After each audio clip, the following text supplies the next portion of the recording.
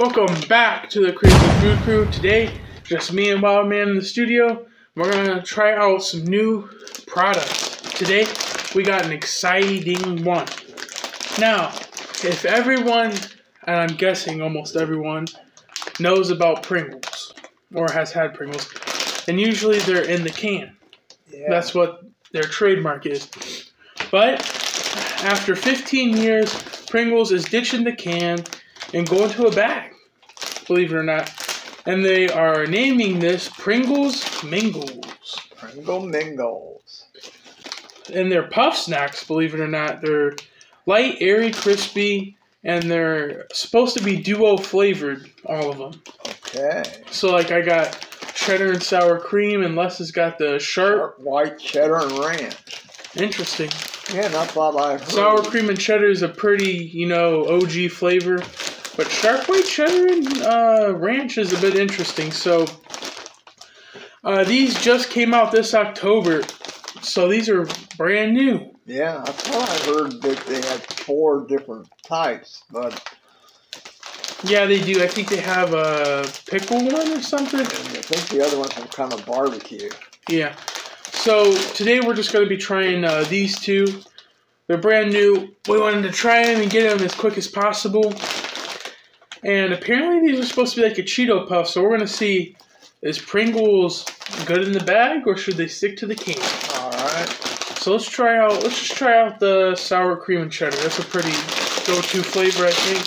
Alright. Wow. So they're. I. I think they're in the shape of a bow tie here Yeah. for the little guy. If not, you'd think they were a dog biscuit. They're really light. They're Yeah. really they they're just like a Cheeto puff almost. Let's try them out. They definitely got a strong flavor to them. I'll Yeah. give them that. A little bit crunchy. Yeah, it's got a crunch. snap to it. I think these got more flavor than the little Pringle chips. Yeah, I do too. Pringle chips, you know, and you get it, most of the time you get them, they all, be first thing you taste is salt. I taste flavor. Right away, I taste cheese, the cheddar, Yeah. and the sour creams there. But these are really good. I could definitely just stack on these. Pringles, um,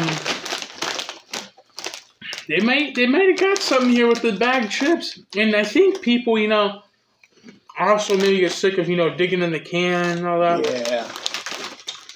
Maybe Pringles, maybe you'll see them in bags more. Interesting. Maybe I have to give those about an eight.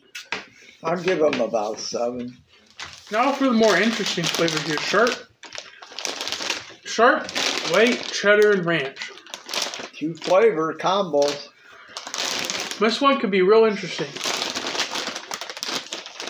The thing about these is the texture's kind of throwing me off. I was thinking it would have been more of like a, you know, like a Cheeto puff that's like real light and just like you don't even you can just suck on it and it will. Right. This these have a little bit of a crunch to them. Interesting. Uh,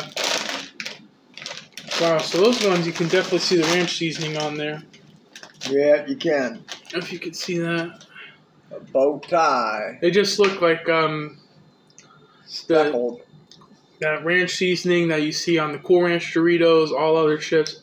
That one, Ooh, that's got salt. Wild bite. that one's Kind of weird. cheddar. Are you getting a white cheddar? Yeah.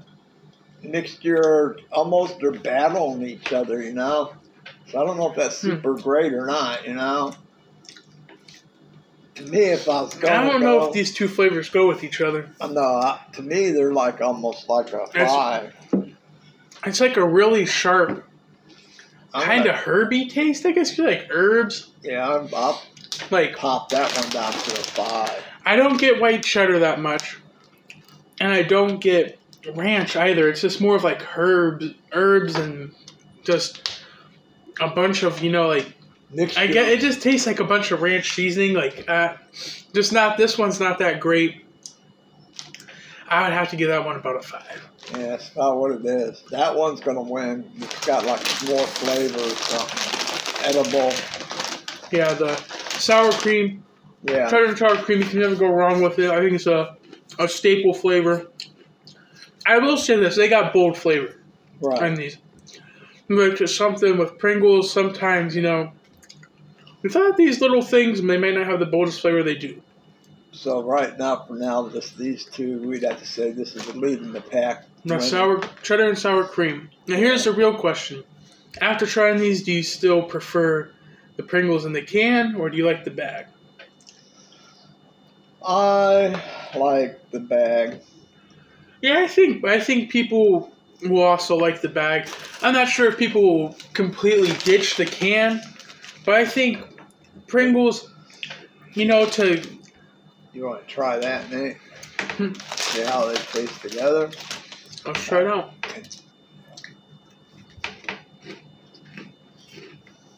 Hmm. It tastes a bunch of cheddar. Right. It dominates. These are really cheesy. I like to try the other two out there. Just based off these, I bet they're pretty good also. For Pringles to, you know, ditch their trademark can and go to the bag, I think they did a pretty okay job. I'd have to give Pringles a thumbs up on this one.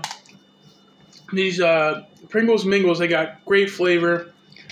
If you're looking for a Cheeto Puff, I would say give them a try. They're new. I can't say for the other two flavors, but these two flavors were the sour cream and cheddar were good. The sharp white, mm, overall, these are pretty solid.